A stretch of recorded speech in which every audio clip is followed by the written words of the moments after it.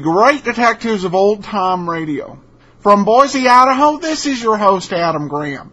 Got a comment? Email me, box13 at greatdetectives.net. Cast your vote for the show on Podcast Alley, podcastalley.greatdetectives.net.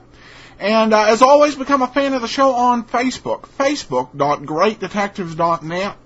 Before we do get started with today's show, I do want to remind you that our listeners uh, can try Audible uh, free for two weeks and get a free audiobook. Go to audiblepodcast.com slash oldtimeradio. And as I've mentioned before, you can either listen uh, to your choice of audiobook for work or for pleasure, uh, or you can also get a high quality uh, old time radio set like The Shadow or Abbott and Costello. That's audiblepodcast.com slash old time radio.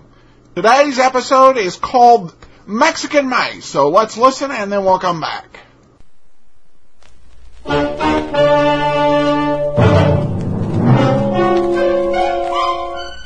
Box 13, with the star of Paramount Pictures, Alan Ladd as Dan Holiday.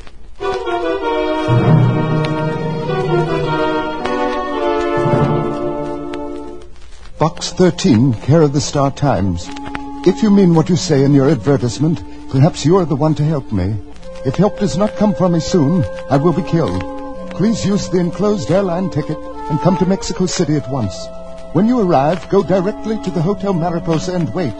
Please hurry because every hour brings me closer to death. Because every hour brings me closer to death. Arthur Meade. Sure, the letter had a ring to it that made me believe it. And I felt sorry for him. But 48 hours later, I had someone else to worry about. A fellow named Dan Holiday.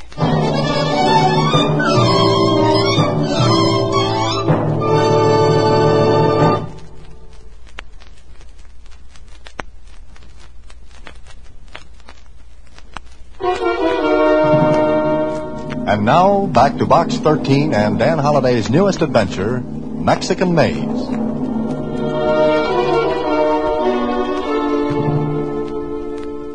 Mexico City. Mmm, what a place to be. Would you like to go in my place, Susie? I sure would, Mr. Holiday. All right, I'll tell you what. You take the ticket and go. Then when you get to Mexico City, you find Mr. Arthur Meade. Then what? Then keep him from being killed. What's the matter, Susie? Don't you like Mexico anymore? Oh, you were kidding when you said I could go, weren't you? what makes you think that? oh, how could I keep how could I keep anyone from being killed? What worries me is how am I going to do it? He sure sounds like he's got his back to the hall. Oh, Susie. Wall. But wherever he's got it, he sounds as though he might not have it there long. Okay, Susie, close up shop. I'm off to the land of the Aztecs. Flight to Mexico City was routine, and an hour later, after I got off the plane, I registered as Box 13 at the Hotel Mariposa and was shown to my room. The bellboy had no sooner left than. Hello? Is this the man from Box 13?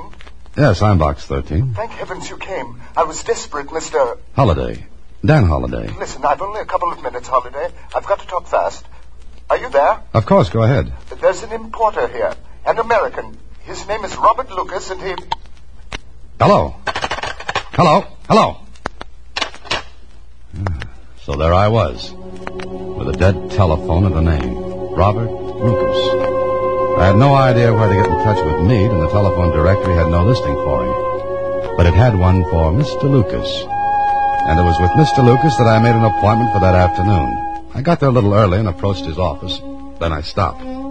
The door was open, and I couldn't help overhearing. And if that's your idea of an explanation, we're through, Robert. We're finished. That's what you think, Marilyn. It's not quite that simple, my dear. Not at all. I'll make it simple. Very simple. Do You understand? I'm afraid I do. You didn't think I'd do that, did you? Maybe you'd like me to go to Meade. Goodbye, Mr. Lucas. I ducked back out of sight and let her pass. She didn't see me. What I saw was a woman of maybe thirty, and very lovely. Her heels beating, a tattoo down the hall. I waited a couple of seconds, then Yes, come on in. What can I do for you? I telephoned for an appointment, Mr. Lucas. Oh, yes. You're Mr. Holiday? That's right. Please sit down. Oh, thank you. Now, sir, you said over the phone that you were an importer. In a way, yes. In a way. You are or you aren't. Let's say I was imported. What are you driving at? Now, look, I'm a very busy man. If this is some sort of ruse to get in here and pester me for a job, I've no time. If you need financial help, go to the. Oh, I don't need American help. Mr. Lucas. I give it. Will you come to the point? Certainly. The point is Arthur Meade. You, uh, you said Arthur Meade? That's right. Do you know him? What business is it of yours? Mr. Meade asked me to come here. He said he was in danger of being killed. Killed. The same. He telephoned me about an hour after I got in. But uh, we were cut off. Or he was. Where was he? I don't know. What did he say? He mentioned your name, that's all. Oh, that's all. He didn't have time for chit chat. What's your connection with him? Let's say business. Mr. Holiday, I don't know where Arthur Meade is. I haven't seen him for days. What's he afraid of? I don't know. You don't seem to know very much. That makes us even. Yes, I guess it does. So you've no idea where I can find Arthur Meade. No, there are a great many places in Mexico City where a man could hide. What makes you think Meade is hiding? I, I assume he is, since neither of us knows where he is. Then I guess our little chit chat is over. It would seem so, Mr. Holiday. Well, I may call on you again. Oh, please do. We'll talk about the importing business. Perhaps we may even talk about exports. I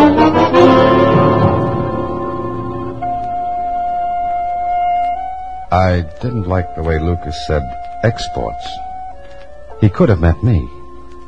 The second thought convinced me he did. But he knew plenty about Arthur Meade, which gave him aces against my deuces.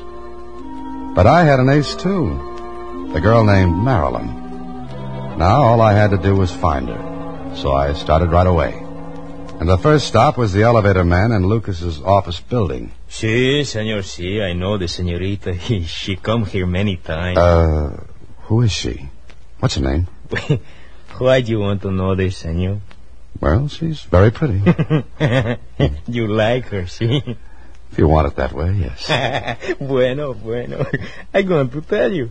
She is señorita Marilyn Cooper. Oh, an American. Si. Uh, where can I find her? I do not know where she lives, senor. Oh, I see. But I know where she works. Oh, that's better. Where? She's a dancer in the club eh, de las Tres Flores. Uh, where's that? El calle Alameda. Alameda Street? Sí, sí. Oh, thank you. And here. Oh, gracias, señor. Muchas gracias. You're welcome. In Spanish.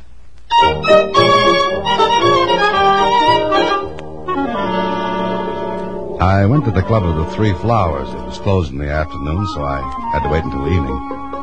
My Spanish being somewhat on the rusty side, I had a little trouble getting to see Marilyn Cooper. But I managed it, and ten minutes later, I was sitting across from her at one of the tables. I, uh, I don't know you, do I? No, you don't, Miss Cooper. You're an American. Mm-hmm. So are you. Huh? Why'd you come to see me? Two reasons. One, Arthur Meade. What? The other, Robert Lucas. Who are you? I'm the man who always pops up to scare people with things I'm supposed not to know. Well, I'm not scared. No. How, how do you know about Meade and Robert? Why do you call me by his last name and Lucas by his first? Does that make any difference? No, except that I happened to overhear your little spat with him today. Well, I... Please, please don't get up. I didn't mean to. But you were talking in something more than a soft whisper, and I... Then you know what he did. If you mean that slap, yes. What's your name? Dan Holiday. Do you know Arthur Meade? No, I'm beginning to think I'll never know him. I... What were you going to say? If I tell you where you can find Arthur Meade, what'll you do? That all depends. You'd better find him before Robert Lucas does. Oh, why? Listen, I'll talk fast. I'll say it once because Robert's capable of having me watched and getting even with me. Go ahead. What have you got to say? Robert's got Meade tied up. Meade's only chance to get back on his feet financially is a deal he's got on the fire with a man named Barnes. What kind of a deal? I don't know exactly. Something to do with the export business. Robert's trying to prevent that. Well, why doesn't Meade go to the police? Police? Meade's no angel. He's got plenty of tar on his record. But he's got to keep out of Robert's way until he closes the deal with Barnes. Oh, that's why he's hiding. Yeah. And our Mr. Lucas would like to close a deal with Meade permanently if he found him. Yeah, he would. Lucas has got a lot of friends. Some of them are real ugly, outside and inside. All right. Where can I find Meade? 34 Alvarado Drive. 34 Alvarado Drive. You better get out of here. That's one more question. What? Tell me how you know where to find Meade. I got friends, too. I found out. Uh-huh. And we're going to make Lucas pay for the information. What do you think I am? Someday we'll go into that matter. Right now, I'm going to find Meade and get myself straightened out, if possible. I left Marilyn Cooper, and I was firmly convinced that a nicer pair of characters than Marilyn and Lucas I'd never meet again. And no tears shed if I didn't. I took a cab to 34 Alvarado Drive, and when I got there, a clerk told me Senor Meade was in number 107. I walked down the hallway, then I stopped. The door to Meade's room was open, and I heard. I looked in. Waited a second, and then. Aren't you far from home plate, Mr. Lucas? You. Let's not be hasty, Mr. Lucas. Take your hands off. Let's go inside. Take your. Inside, please. Ah, where's Meade? Do you see him? I'd like to. Take a look around. You'll see what I saw. Empty drawers, empty closet, empty room. That is, except for you and me. Brilliant. Elementary. Now, where's Meade? I don't know. How do you know he lived here? This afternoon you told me you didn't know. It's none of your business. You were searching this room for what? Expect to find me tucked away in a drawer? Holiday, you're meddling in something that's none of your business. Now let me out of here. Not until you... Let me out. Is that loaded? It is. Now get away from the door. Certainly. It's all yours. You show good sense, Holiday. Good night. First trick to Mr. Lucas. But I still wanted to know what became of Meade and what I was doing in the game. I was sure Lucas didn't know where Meade had gone. I looked around the room. Nothing was left in the drawers, the closet. Meade had cleared out, clean. Then on on the battered telephone table, I found a bus schedule. The departure time of a northbound bus had been ringed in red. I wondered if Lucas had seen it. If he had, I had to beat him to the bus depot. As I opened the door. ¿Qué tal, amigo? I. I speak English. So do I. You will please to sit, senor. Please to sit. Aren't you in the wrong room? Senor, when I'm a little muchacho, I have learned to throw a knife. Very good. I have not forgot. You like to see me do it with this knife? Uh, no, thank you. Then you will be pleased to sit. Ever come face to face with a big toothy grin holding a knife in your face? Well, it isn't pleasant. I sat. Does this make you happy? Sí. bueno. Look, I'm afraid you've made a mistake, senor. I... Oh, no, senor. You make the mistake. Ay, es muy triste. Uh, it's very sad. What do you mean? Nada. Nothing, senor. I have only come to kill you. He said it so calmly, so matter-of-factly, but he... But he meant it. His grin got wider, and the knife that glinted in his hand looked very, very sharp. Then... I am paid to kill you, senor. I do not have something against you. But business is business. You will please to stand, amigo, with your back to me. Now listen, I... With your back to me, senor. I like your face. And I do not wish to see it when I do with the knife what I am paid to do.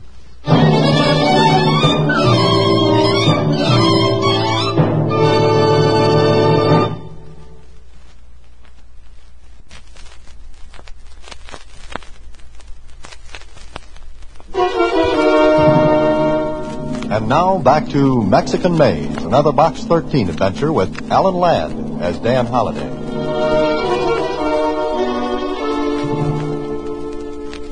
I turned my back on the grin.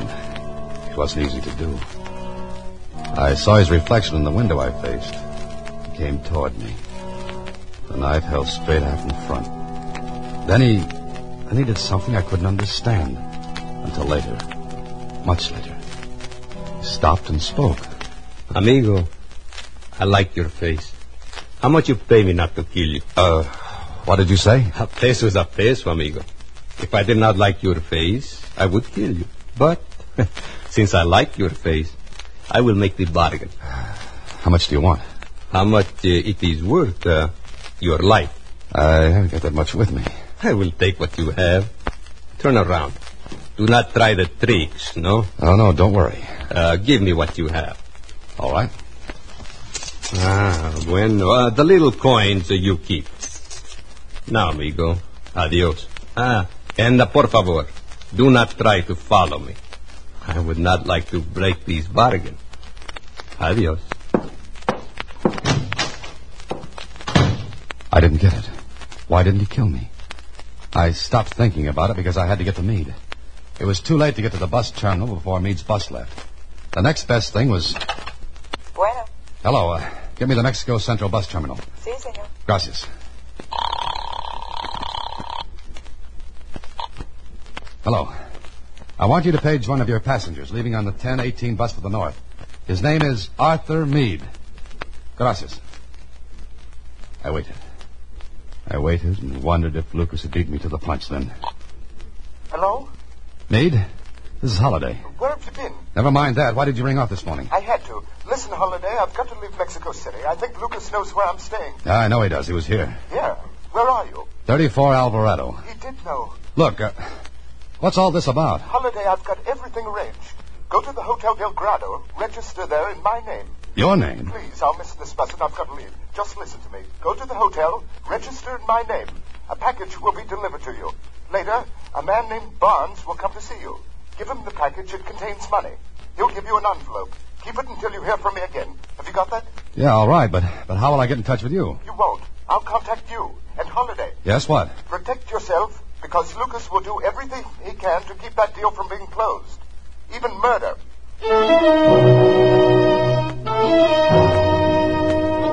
Meade hung up and left me hanging. Way out on a limb.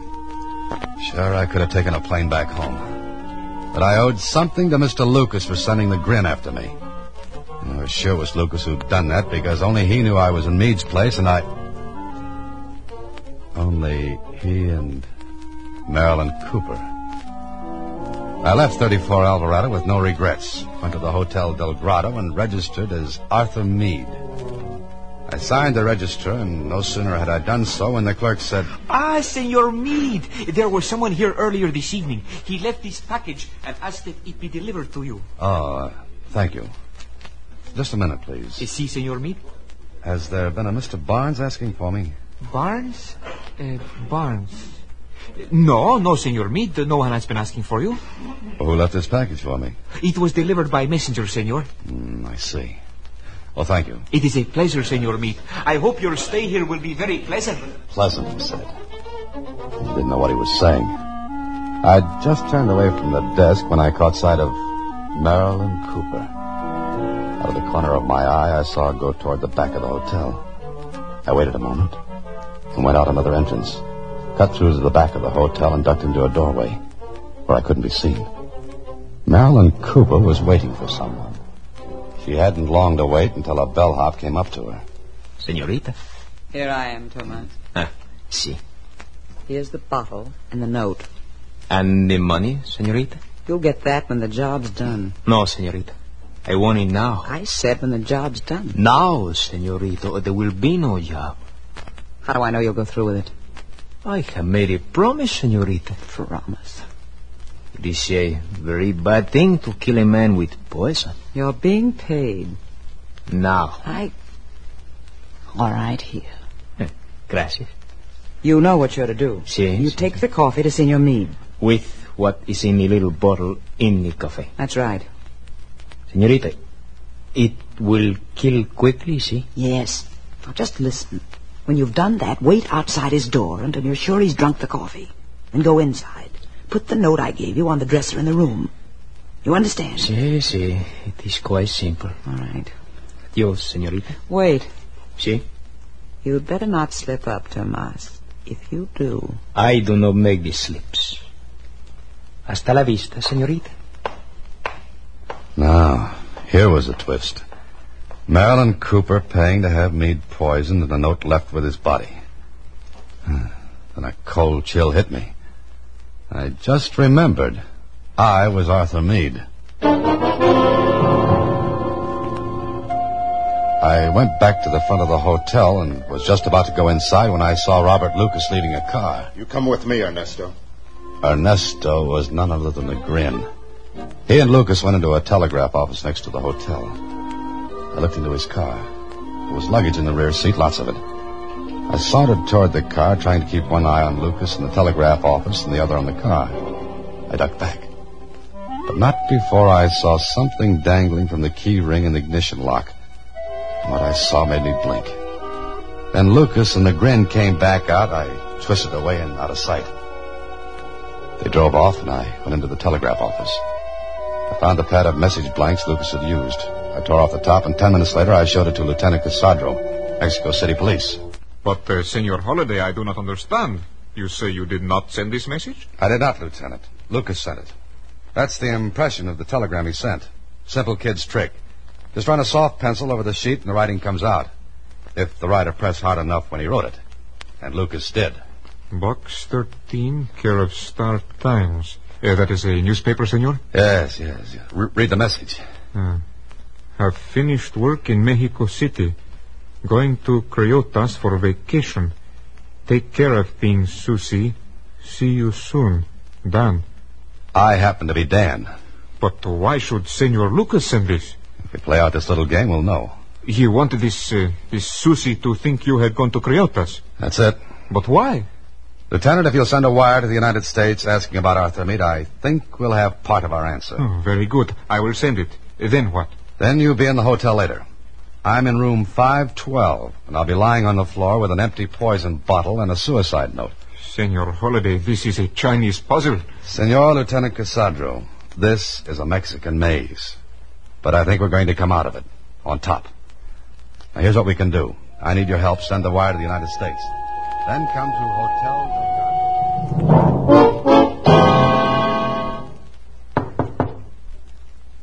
Come in. Senor Meade, here is cafe. Coffee? I didn't order it. I, I know, senor, but it is the custom of the hotel. It is very good cafe, senor. Uh, Americans like cafe, see? Uh, yes, we do. Oh, thanks. Put it on the table. Uh, see, senor. I'm going to pour for you, see? Mm, please. Ah, senor. It's just right to drink. I'll bet it is. Okay, here you are. Huh? Muchas gracias, senor. Uh, it is that I hope you are going to sleep well. I'll just bet you do. Good night. I listened for a moment, then I made with the coffee cup. Then I went into my act.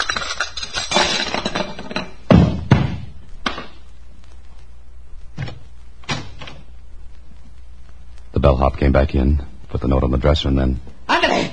Ándale! Help! Help! The Senor Meade! He is dead! The Senor Meade! ¿Qué es? Please. ¿Qué es, muchacho? Oh, policía. Eh, eh, señor lieutenant, eh, el señor Meade está muerto. ¡Muerto! Silencio. What's the matter? Oh, Senorita, you know this man? Well, well, yes, it's Arthur Meade. And you, senorita? Marilyn Cooper. Marilyn, what is it? What's the matter? Good Lord. Meade. Come no closer to the body, senor. You know this man, too? Yes, I know him well, Arthur Meade. He's dead. Very dead, senor. It is...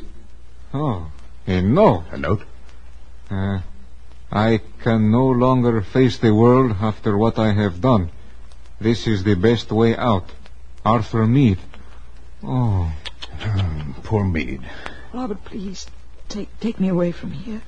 Why so fast, Marilyn? what? Holiday. Holiday. Lieutenant, grab him. Have your man get that bellhop. Un momento, senor Lucas. Senorita Cooper. I do not wish to fire this gun. You idiot, you said it was safe, you fool. Shut up. Shut up, Marilyn. Well, this looks like a real argument. Not like the one you staged for me before. Lucas. Or Meade. No matter what you call yourself, your name's Mud from now on.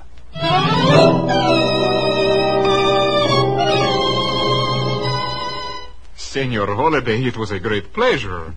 All mine, Lieutenant. Uh, but will you please explain? We have no time before, and there are my reports to be made out. Sure. Well, Meade was an embezzler. You see, my telegram to the United States verified that. So the trail was getting hot. Now, the one sure way to make the police stop hunting for you is to, well, is to be dead. But uh, sooner or later, we would have received a description from the United States. Mm-hmm. Even so. You'd have wired the States that Arthur Meade had committed suicide down here. You had verification that I was Meade, Marilyn Cooper, Lucas, or, or Meade, and the hotel clerk. And the big deal Meade was going to have? A fake.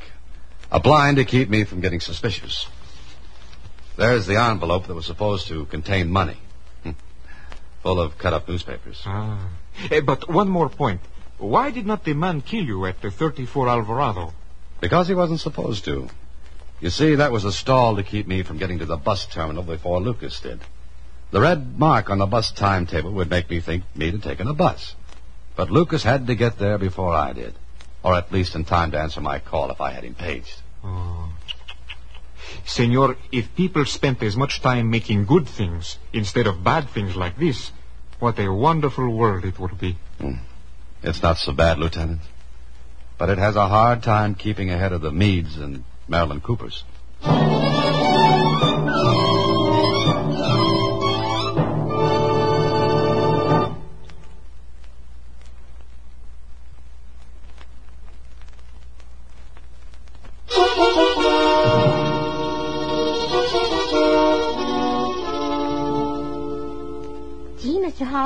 I didn't know what to think when I got that wire saying you were going to take a vacation in creosote. Uh, Susie. Creotis. Anyway, you were supposed to think I'd gone there, and, well, it would have been a dead end. Just think, you might have been killed as Arthur Meade. I might have been killed as Dan Holiday. Oh, oh, wait a minute. There's one more thing. Hmm? What's that, Susie? You said you noticed something dangling from the key ring in, in the ignition lock of Lucas's, uh, uh, of Meade's, well, well, in the ignition lock. Oh, it was a tag, Susie. A tag attached to a key, and the number on the tag was 107. 107? Mm-hmm. Meade's room at 34 Alvarado. Now I ask you, why would Lucas have had that on his keychain if he hadn't have been Meade himself? Jeepers. Now, that's the kind of adventure I like. When are you going again? Oh, good night, Susie. Next week, same time, through the courtesy of Paramount Pictures, Alan Ladd stars as Dan Holiday in Box 13. Box 13 is directed by Richard Sanville. This week's original story was written by Robert Mitchell and Gene Levitt. Original music is composed and conducted by Rudy Schrager. The part of Susie is played by Sylvia Picker. Production is supervised by Vern Carstensen. Box 13 is a Mayfair production from Hollywood. Watch for Alan Ladd in his latest Paramount picture. Welcome back. The one thing you can say for Sylvia Picker's portrayal of Susie is you couldn't really tell if she was flubbing a line. I've been listening to Abbott and Costello, uh, their shows. They uh, flub their lines quite a bit, had the script right in front of them. At the end, I couldn't tell whether she was flubbing it or whether it was written that way. Anyway, we have a couple quick comments before we wrap out. This one comes from Shaq, uh, who writes, I've been listening via podcast for quite a while now. Love the movies, love it all. Big fan of Box 13 and Sherlock Holmes. Keep up the great work, Adam. And a nice note from Dan. Hey, Adam, love the shows. I found them on the Zune network. I listen all day in the car. Box 13 and Johnny Dollar are my favorite. I do miss Pat Novak. Shows are fantastic. They help my day go by. Keep up the great work. Thanks a lot, Dan. Well, thank you, Dan. And the one thing with Pat Novak that I'm hopeful about is there are quite a few lost episodes. There were two lost episodes from the national run, but uh, probably at least 25 episodes missing from the San Francisco run with uh, Jack Webb. So I'm hopeful that some of these lost episodes will come to light and we'll be able to revisit a Pat Novak because it's one of my favorites too. All right, well we will be back uh, next week with another episode of Box 13, and tomorrow it's Jeff Regan. So uh, we'll be, uh, be uh, waiting for you then. From Boise, Idaho, this is your host Adam Graham signing off.